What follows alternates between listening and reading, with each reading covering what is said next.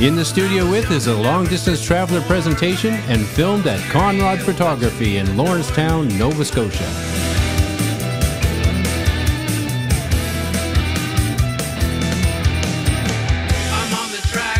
Hey folks, welcome back to another episode of In the Studio with. Today we're taking a look at the Crate Strat HSS.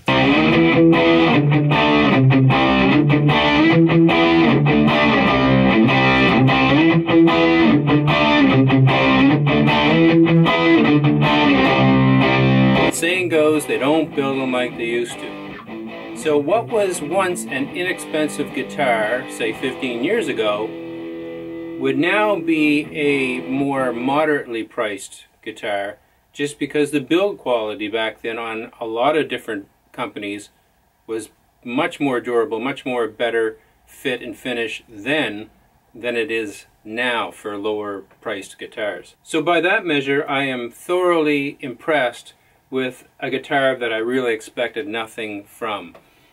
That double in the lead has a really sharp, powerful sound.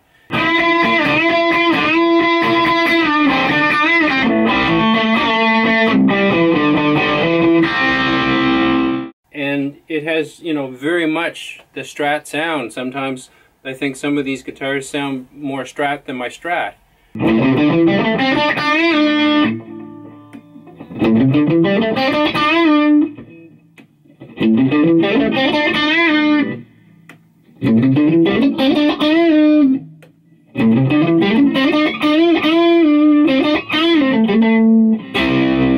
So I don't know that I've ever found a marking on this guitar that said where it was from.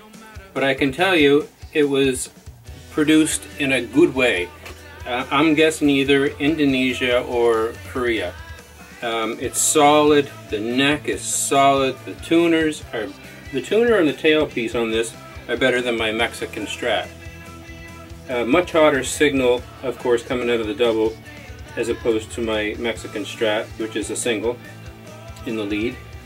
Uh, typical volume, vo uh, volume in two tones, five position switch. Very comfortable, very stable, very solid feeling guitar. You know, clearly there are inexpensive guitars out there that are junkers and no amount of um, adjustment is going to make them good. And then there's just the ones that were built right to begin with, and they're just they're just solid guitars regardless of what name is on the headstock. Price difference between something like this and something that was built to a much higher and much more expensive standard. You pay a lot more money to get a little bit better, just a little bit better Let's play with some overdrive.